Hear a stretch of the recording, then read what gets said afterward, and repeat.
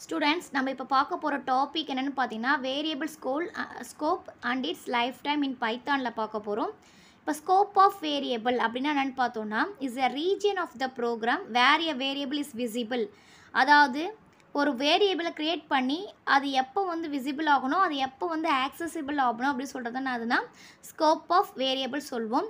அதோட light life டைம்ன்றது நம்ம என்னன்னு சொல்கிறோன்னா the lifetime of a variable is the duration for which a variable exists in the no memory அதாவது அது எவ்வளோ நேரத்தில் மெ எவ்வளோ நேரம் வரைக்கும் மெமரியில் இருக்கணும் அப்படின்னு சொல்கிறதா என்னதுன்னா life time of a variable நம்ம சொல்வோம். The existence and accessibility depend of the declaration of the variables in the program அதாவது எப்போ ஆக்சஸ் பண்ணுறது எப்போ வந்து அதை எடுத்து விடுறதுன்றது நம்ம டிக்ளரேஷன் பொறுத்து தான் இருக்குது வேரியபிள் டிக்ளரேஷன் பொறுத்து தான் இருக்குது இப்போ பைத்தானுடைய ஸ்கோப் வேரியபிள் என்னென்னு பார்க்கலாம். The location where we find a variable and also access if it is required is call the scope of variable எந்த இடத்துல அந்த வேரியபிள் போட போகிறோம் எப்போ ஆக்சஸ் பண்ண போகிறோம் அப்படின்ற சொல்கிறதா என்னன்னு சொல்லணும்னா ஸ்கோப் ஆஃப் த வேரியபிள் அப்படின்னு வந்து நம்ம சொல்லுவோம். இப்போ வந்து பார்த்திங்கன்னா பைத்தானில் வந்து பார்த்திங்கன்னா டூ டைப்ஸ் ஆஃப் வேரியபிள்ஸ் இருக்குது local scope and then global scope ரெண்டு டைப்ஸ் ஆஃப் வேரியபிள்ஸ் இருக்குது ஃபஸ்ட்டு ஒன்று ஒன்றா பார்க்கலாம். லோக்கல் ஸ்கோப் அப்படின்னா என்ன அர்த்தம்னா local variables are those that are are within a function and are unique to that function local variables அப்படின்னு சொல்லிட்டு நம்ம எப்போ சொல்லுவோன்னா அது ஃபங்க்ஷனுக்குள்ளே நம்ம டிக்ளேர் பண்ணுறோம் இல்லையா? அந்த ஃபங்க்ஷனுக்குள்ளே டிக்ளேர் பண்ணுற வேரியபிள்ஸ் எல்லாமே நம்ம என்ன சொல்லுவோம்னா லோக்கல் வேரியபிள்ஸ்னு சொல்லுவோம் அது வந்து பார்த்திங்கன்னா அந்த ஃபங்க்ஷனுக்குள்ளே மட்டும் தான் யூஸ் பண்ண முடியும். It cannot be accessed outside of the function அதாவது ஃபங்க்ஷன் வெளியில் அது வந்து யூஸ் பண்ண முடியாது. ஃபங்க்ஷனுக்குள்ளே யூஸ் பண்ணுறது தான் நம்ம என்ன சொல்லுவோம்னா லோக்கல் ஸ்கோப்புன்னு சொல்லிட்டு நம்ம சொல்லுவோம். இப்போ அதோட எக்ஸாம்பிள் பார்த்தோன்னா இப்போ ஃபங்க்ஷன் நம்ம டிக்ளேர் பண்ணியாச்சு. சாரி இங்கே ஒரு கீ கோலன் வைக்கணும். ஃபங்க்ஷன் வந்து டிக்ளேர் பண்ணியாச்சு. எஸ்ன்றதுன்னு பார்த்தீங்கன்னா இங்கே வேரியபிள் ஸ்கோப் இது வந்து லோக்கல் வேரியபிள் இப்போ வந்து பார்த்தீங்கன்னா இப்போ எஸ்ன்றது வேரியபிள் டிக்ளேர் பண்ணியாச்சு.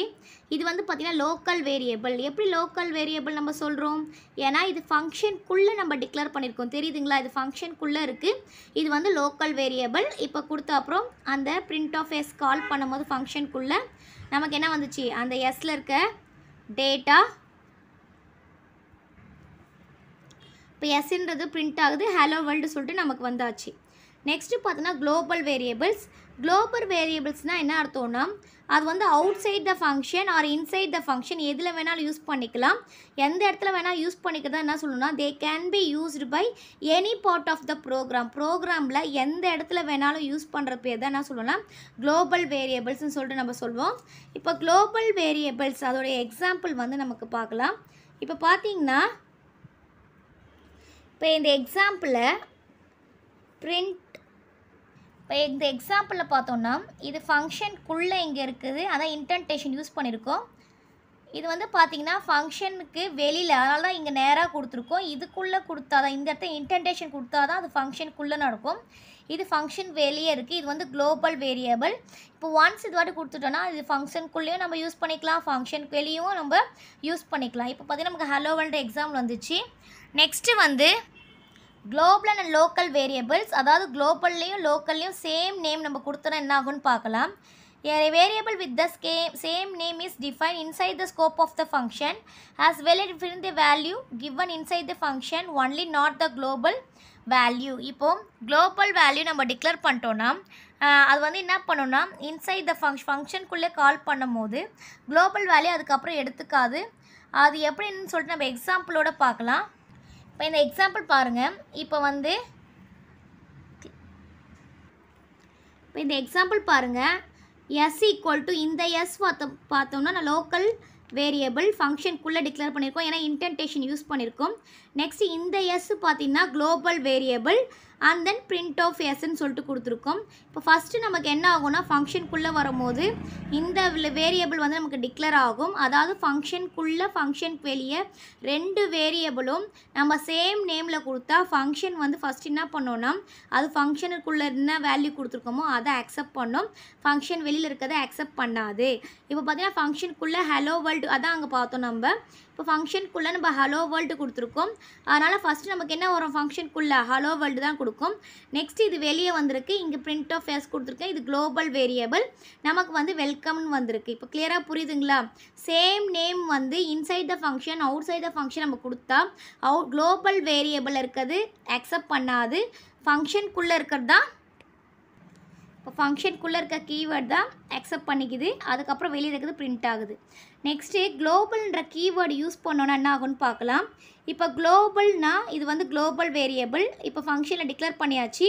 Print of S S equal to நம்ம வெல்கம்னு ஒன்று லோக்கல் வேரியபிள் டிக்ளரேஷன் பண்ணியிருக்கோம். ஏன்னா இது ஃபங்க்ஷனுக்குள்ளே இருக்குது and then எஸ்ன்றது hello world and then F of print of S கொடுத்துட்டோம். இப்போ வந்து நமக்கு எப்படி அவுட்புட் வரும்னா global S global S print of S global எஸ்னால் global variable global variable நமக்கு என்ன இருக்குது ஹலோ வேர்ல்டு அப்போ எனக்கு ஹலோ வேர்ல்டு வரும். Next S equal to welcome கொடுத்துட்டேன். அதுக்கப்புறம் நமக்கு என்ன வரணும்? சாரி இங்கே ஒரு டேட்டா விட்டுட்டோம் நம்ம.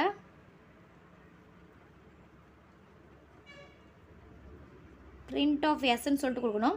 பிரிண்ட் ஆஃப் எஸ் கொடுத்தனா நெக்ஸ்ட் வந்து வெல்கம் வரும். நெக்ஸ்ட் இங்கே வெளியே வரும். வெளியில் வந்த அப்புறம் இங்கே பிரிண்ட் ஆஃப் எஸ்ன்றப்போ இந்த இந்த இது குளோபல் தான் நமக்கு டிக்ளேர் ஆகும். குளோபல்ன்ற கீவேர்டு கொடுத்துட்டோம்னா இப்போ வந்து இது கொடுக்காம நம்ம கொடுத்துட்டு இந்த குளோபல் கொடுக்காம இங்கே பிரிண்ட் எஸ் அப்படின்னு நம்ம கொடுத்தோம்னா நமக்கு எரர் வந்துடும் ஏன்னா லோக்கல் வேரியபிள் இருக்கும் போது குளோபல் வேரியபிள் வந்து ஸ்ட்ரெயிட்டாக அக்செப்ட் பண்ணாது.